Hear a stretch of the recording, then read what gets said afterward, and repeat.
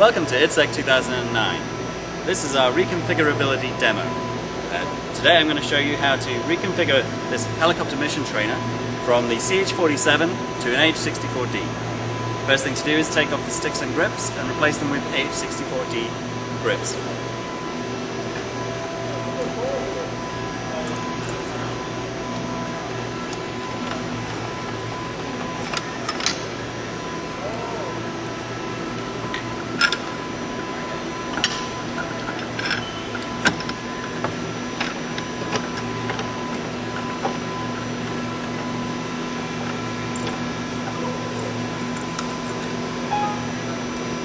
And as you will see,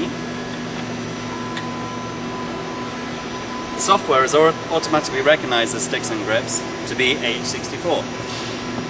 So first of all, it asks us to open the window to open up the H64. The sticks will go passive, and we'll just go back to our plug-in here. We can quickly traverse all of the axes so they can do go through their force, force offset calculations and reconfigure themselves.